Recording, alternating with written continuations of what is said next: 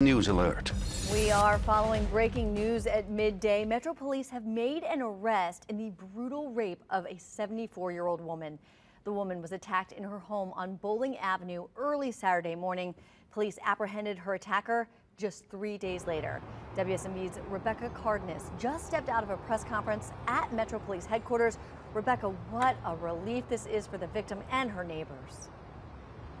Yeah, it certainly is, Carly. And police say that they caught up with 46 year old Philip Hayes and were able to take him into custody in the middle of trying to commit another crime on Tuesday morning. We want to take you through that. So, a homeowner on Gale Lane, which is about less than 10 minutes away from the original crime on Bowling Avenue, called police to report a man repeatedly ringing the doorbell and rifling through their Jeep in the driveway. When officers arrived and checked home surveillance video, they were immediately suspicious. This man was Saturday's rape suspect. They found an abandoned stolen car nearby before encountering Phillips himself. He resisted arrest, but was ultimately taken into custody where his DNA matched that of the rape case. The police chief believes they stopped this man before he had the chance to act again.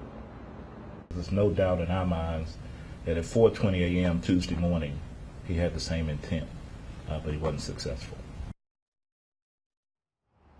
And we heard from the officers who actually took Hayes into custody today as well. They offered kind of an interesting detail. They said in that stolen car that they found on Tuesday morning were several women's purses. They say they were they appeared to be new, so they believe they were taken from a store as opposed uh, to actually taken from women. But certainly, they said another peculiar and concerning detail to this case. You will hear from those officers who arrested this guy tonight on WSMV4. Carly, Rebecca, thank you so much. Such a disturbing case.